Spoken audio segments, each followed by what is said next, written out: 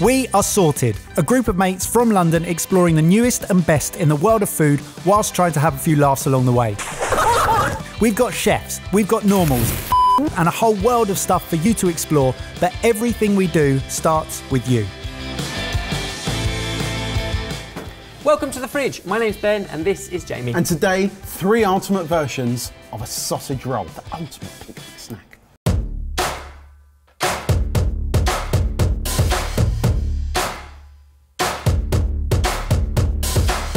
Hey everyone, we've been really busy making sausage rolls. We've each made our own version.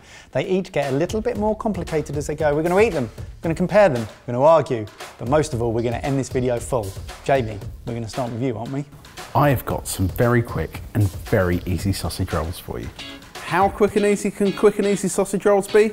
This quick and easy. All we're going to need is a small selection of dried herbs and spices, sausage meat, ready-made pastry, and an egg. And to make life even quicker and easier for these quick and easy sausage rolls, I'm going to be using this quick and easy thing. First up, let's talk about our dried herbs and spices. We have onion powder, we have garlic powder, we have nutmeg, and we have fennel seeds. They're gonna add a really delicious flavor to our sausage meat. But because we're using whole fennel seeds, we're gonna chuck them all into here, blend them up until they're really fine and small, so you're not chewing through massive fennel seeds in your sausage rolls. And then we'll do a quick switcheroo for this bit with a food processor with the blade. We can whack our sausage meat in, add in the herbs and spices, gloss over the fact that I said whack in sausage meat and maybe replace that with a gently place your sausage meat. And then we can whiz it all up. Now, that smells like an amazing sausage roll. Now I couldn't confidently stand here and tell you that these are quick and easy sausage rolls if we weren't using quick and easy pre-made puff pastry. Even quicker and easier, we've got pre-rolled. Only an idiot would want to make their own puff pastry for sausage rolls. Roll out your pastry, add a lovely line of sausage meat all the way down the middle, then fold over, seal with an egg wash, cut into fours. You should get two rows of fours from this. Egg wash all over. And as if all of this wasn't enough to convince people that your quick and easy sausage rolls were beautifully handmade, why not sprinkle over a few fennel seeds just to add that artisanal touch. Stick them in a preheated oven at 200 degrees Celsius for 18 to 20 minutes.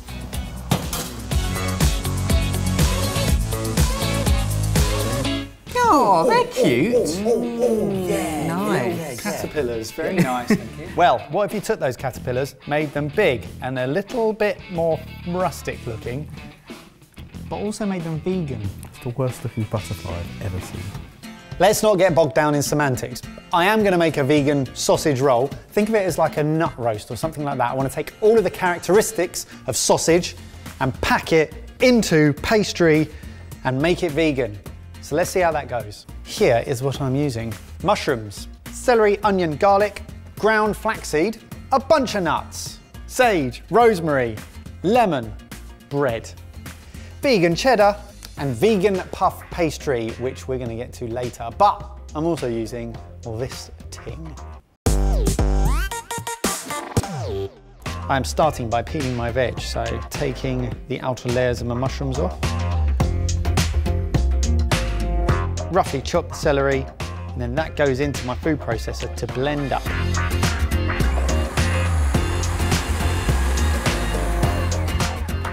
Right, that has blitzed off lovely.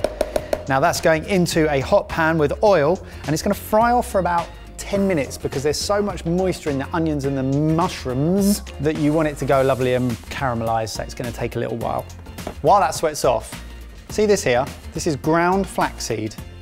And when you add water to this, it soaks up all the moisture and goes all paste-like, and that is what we're gonna use to bind all of our onion and our nuts and our bread mix once we've zhuzhed it all up. The bread gets blitzed up first, and once it becomes bread crumbs, then in with all my other ingredients. So that's Brazil nuts, almonds, hazelnuts, pistachios, sage, rosemary, lemon zest, and vegan cheese. my flaxseed paste, and all of my amazing oniony, garlicky, mushroomy paste. Season it with salt and pepper. Wow. This is puff pastry. Is vegan puff pastry. Is it marketed as vegan puff pastry? No, because most puff pastries that you buy in your supermarket are vegan. Don't take my word for it though, check the back before you buy it. But in this case, 100% vegan, no butter included. I'm gonna spoon my faux sauce mixture into the middle of my pastry. Brush the far end with some water and cornstarch, because that's gonna be my binder, because I can't use egg. Roll it, chop it down the middle, score it onto a baking tray lined with baking paper. And because I've made whoppers, they go into an oven at 180 degrees C for 20 minutes.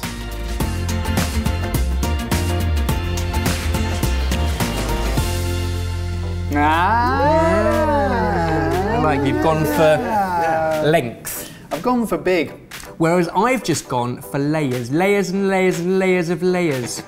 For ultimate sausage rolls, we're gonna make our own rough puff pastry, we're gonna make our own homemade ground sausage meat. Going to be excellent, I hope. Caveat, I've only made rough puff pastry once. I'm gonna need some ice cold diced butter, some strong white flour, salt, egg wash, smoked paprika, cumin seeds, pork belly, pork shoulder, and one of these.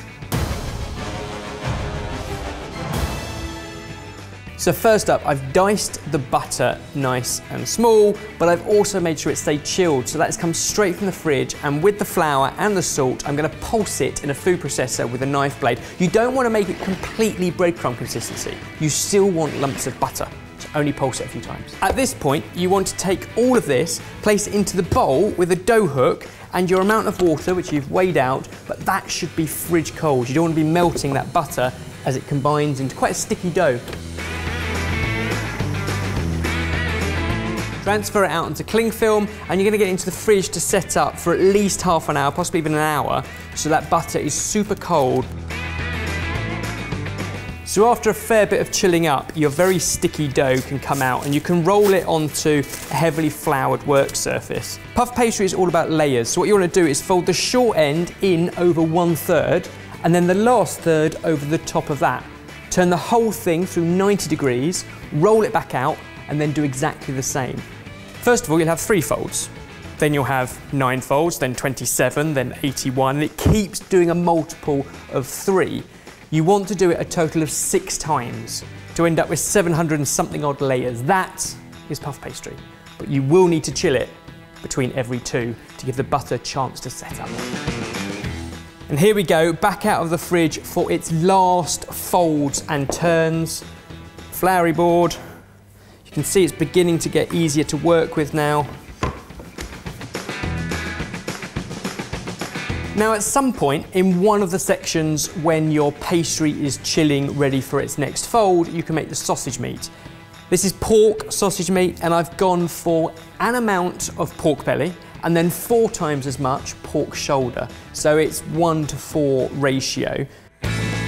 All we're going to do is push it through the mincer attachment of the stand mixer and then season it well with salt and pepper, but also smoked paprika and cumin seeds.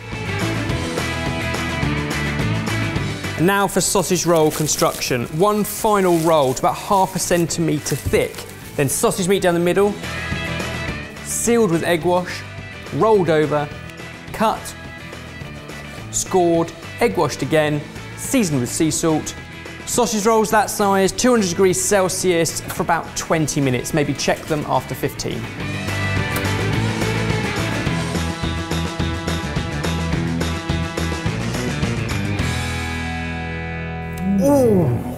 Look at that. I'm intrigued. Before we look too closely at that, have one of these. Thanks. They look good, mate. I tell you what, straight off, nice crispy all the way around. Mmm. Sauce and fennel. Mm-hmm. Heavy on garlic as well, but that pastry is the perfect consistency all the way around. Like one complete layer that's just sealed in. I love the different flavours that you can add to sausage meat. fennel, nutmeg, onion powder, garlic powder just creates a really full flavour. Oh my word. that's, why I gave, that's why I gave you a knife. I'm cutting back on my On your pastry intake. Cheers. So, Sniff it first. I am very excited for you to try this. That's even better than before. Because what I was going to say was I had a cheeky taste of your filling before it actually went into the pastry. Being vegan, everything in it was cooked. So unlike meat, it was actually you can taste it straight off. Yeah. And I tasted it, it was really good. But once it's baked out, the flavours amalgamate even better. Hmm. What I like about it is it's quite earthy and herby off of the sage and stuff. So therefore it actually tastes similarly spiced as a sausage. Mm-hmm. That's delicious. There is nothing there that makes you think, I'm not getting as much as I would in a normal sausage roll. Help yourself to one of those. That is such a good size for a sausage roll. And Oh, it's so heavy. It's so dense. Ten years of sorted, we've never made puff pastry. This is the first time. It looks, and I know it's different, but it looks very croissant-y in it's terms of the layers. laminated dough in the sense that it's kind of folded with layers and layers and layers. Very similar. That is another level, isn't it? Mm. That is another. You can just tell the consistency, the texture of that meat is not sausage meat that you would buy in a supermarket. That is This is like a gourmet, rustic, butcher's style sausage roll, isn't it? So this is buttery, buttery puff pastry, but that's what gives you those layers and that crunch and that. Eat the wow. pastry. Eat the pastry on its own. Just do yourself a favour and eat some of that pastry. oh, If you are a hobbyist and you do want to give homemade puff pastry a go, then that is the recipe for you, bar none. You have to do that. What do you think? I think we've given our opinions here. Let us know what your favourite is by looks, and hey, what should we be comparing and making next? We're going to do that thing we always ask, which is ask you to like the video if you enjoyed any one or, in fact, all three of those sausage roll recipes. If you're new here and you haven't subscribed, why not click the subscribe button? And if you have subscribed, why not click the bell button to get notified every time we upload a new video? Every Wednesday, every Sunday, 4 pm. We'll see you at the next one. Bye.